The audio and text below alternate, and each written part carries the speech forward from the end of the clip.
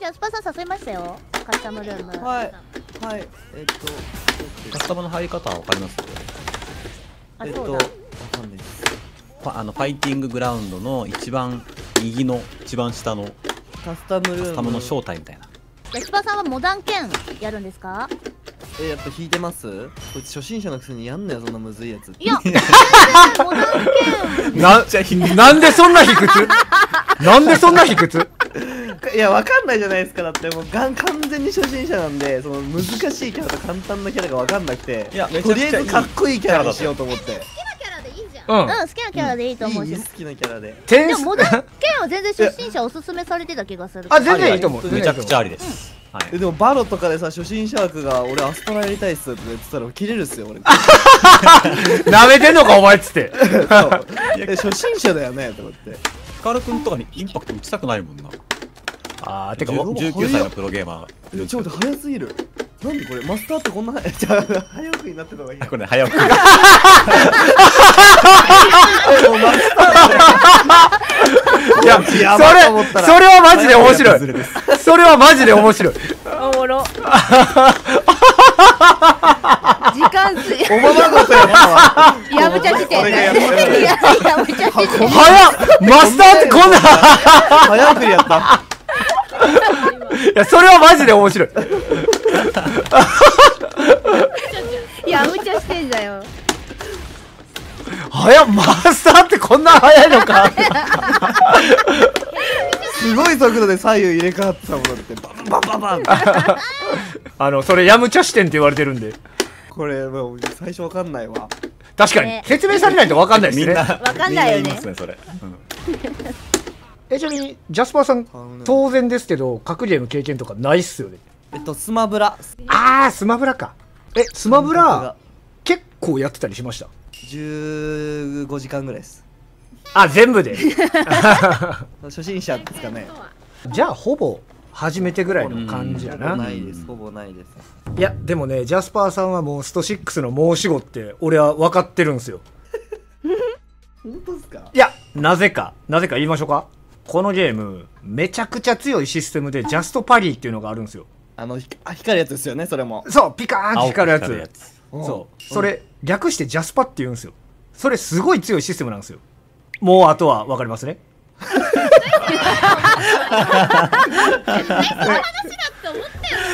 もう。なかったんだろうな。それじゃないよなと思ったらそれやった。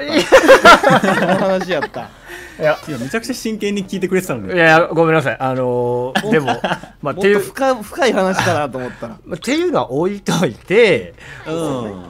やっぱねトレも好きな人はね強くなる素質マジであるんで。それはマジでそう。うん。えずっとやってたでしょ昨日？ずっとやってました。もうそれがあのできない人もいるんですよやっぱ、まあ、そこが続けれる人はあのマジで適性あるから格ゲーかなりハマれるとは思う。ハマってるっす十分あのジャスパーさん対戦するキャラがホンダ・ラシード・リュウっていうキャラと多分対戦してもらうんですけどホンダっていうキャラがめっちゃやばくて。あれですよね。相撲取りですよね。そうっす。相撲取りなんですけどなんか FPS で言うとショットガンみたいなキャラなんですよ。なるほどね。そう。えもうそれ誰が使ってもなんですか？えっとある程度は。強い技が大体ってことか。あそうっす。もうこっちがなんか普通に打ち合いの練習とかしてクリアリングしてとかやってたら横からバーンっつってよっしゃ俺の勝ちみたいなキャラなんですよ。なんか常に突っ込んでくるレイズみたいなもんですよね。そうそうそうそそう。結構対策はあの教えるしその全然付き合うし頑張るんすけど本番でめっちゃ嫌な気持ちになってもあのしょうがないみたいなキャラっすね。えちょで練習したいっすそのホンダ対ホンダ。あじゃあ僕ホンダ使えるんでちょっとだけ。でも本田対策ちょっと知りたいな私も。昇竜剣であそそう。モダンだったらできる。突っ込んできた昇竜さやあのやってたんす。あ偉すそう。こうやって。反応反応できないあそうそうそう。それで OK それで OK これでこれ毎回毎回これっすか？んあのえっと毎回これです。自分のターンなくない？こ れいや。でも撃ち落としたら自分のターンか。撃ち落としたら一応ちょっと自分のターン。うわマジで無理だそれやめてそれやめて画面共有かあ、画面長、画面長、画面長します、画面長します。ちょっと、これ、あの、みんな見た方がいい、これ、なんなら。この苦しみ、ちょっとみんなに見てほしい、マジで。ジャスジャスパーさんの。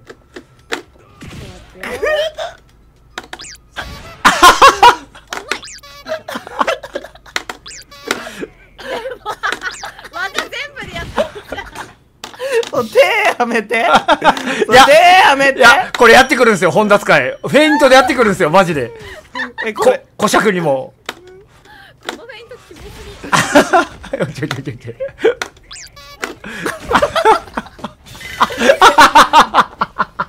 まだ日数あるっすよね全全然ある。はいいや、ちょちょはいはいはいはいはい。実あこれ相手っすこれ相手っすもんねいや、で、えっとね、一個対策あります。波動拳打ってください、ジャスパーさん。そう、これ打ってると、これ、弾は抜けれないんですよ。そう、こうやって。ほら、弾は抜けれない。だから、弾打ってたら、これに対しては一応勝てるんですよ。なるほどどれに対して負けます？えっと、その餅つきです、餅つき。これっす。なるほどこれと弾が噛み合うと、めっちゃ大変なことになります。球が噛み合うと？弾が噛み合うと。ああこうなるはいもうケンキ君がホンダと戦うことになったんですけど、マジでケンキ君ノイローゼになってました。えいいんだよね今回も これ、あ今の、回もいいんだよねえっとね、ファンタさんがホンダの可能性が結構。なんか最初聞いた時マノンって聞いたんだけどなホンダになったんだなと思って大将の数の子が、いや、ホンダ使いましょうって言った可能性があります。大いにある。もう一個教えとくことがあって、はい。頭突きガードさせるんで、このしゃがみ中キックやってみてもらっていいですか？頭突きを、月をそうガードするはいはいそう、了解。一回ガードして、そう、おこお届く。れそうそう。で、これしかもホンダ動いてるんですよ。だかああーなら、るほど。そうそう、これはガードしても、一応、ガードした側が先に動ける攻撃なんですよ。で、問題が一個あって、この餅つきの方あるじゃないですか。はい。この餅つきなんとこんな見た目やのにガードするじゃないですか。立ち立ち立ちでガードできると思います。はい。これなんとホンダが先に動くんですよ。この技。なぜか。マジ何回聞いてもわけわかんないよ嘘つけこの理論ほら。どう考えたって後付き長いだろ尻餅なんだから。ほら。うわ無理だ。そう。これは実はガードすると結構やばいんですよね。こっちはまだガードしてもいいんですけど。